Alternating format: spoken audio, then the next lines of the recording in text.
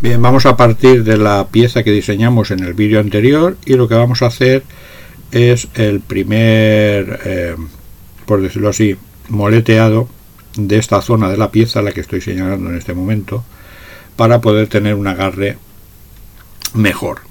Este moleteado que vamos a hacer en este vídeo es el simple y dejaremos para un segundo vídeo uno un pelín más complicado.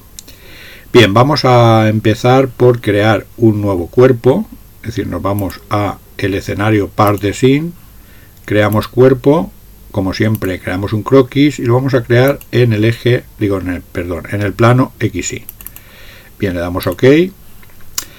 Y lo que vamos a hacer es crear un pequeño, cilín, un pequeño círculo eh, posicionado en el eje que tenéis aquí eh, vertical y lo vamos a dimensionar va a tener, eh, pues por ejemplo, puede tener perfectamente 2 milímetros de radio. Y ahora, eh, la distancia entre el centro de ese círculo y el origen la vamos a fijar en 10,5, por ejemplo. Como veis, eh, este círculo penetra en lo que es la parte que queremos ranurar la penetra un cierto eh, arco, como veis aquí. Eh, con este creo que va a ser suficiente.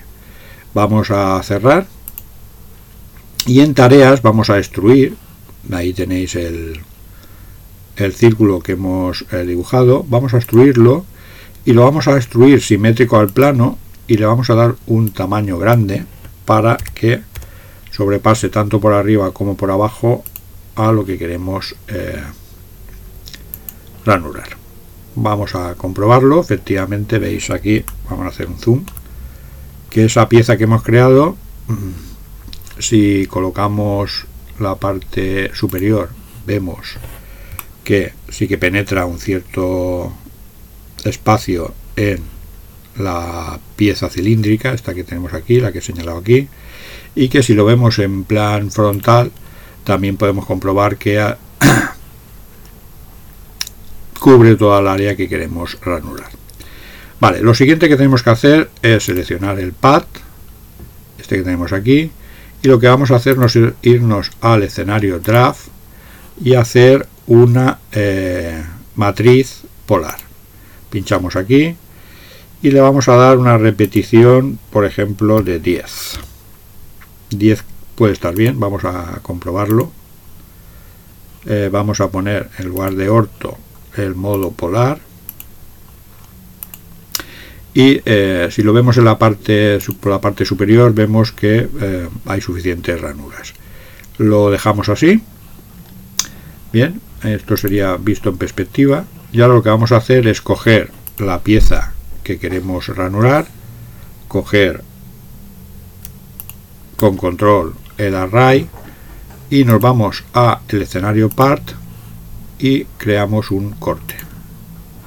Y ya tendríamos la pieza definitiva. Como veis la pieza es la pieza de la que hemos partido original pero con una serie de ranuras para poder agarrarla mejor a la hora de girar este mando.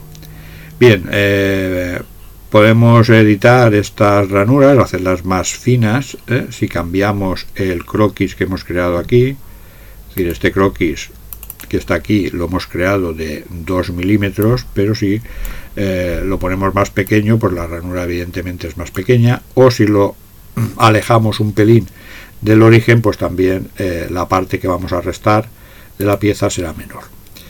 También podemos hacer ranuras más finas y mayor número de ranuras. En este caso hemos eh, dejado 10 que parece que es un tamaño razonable.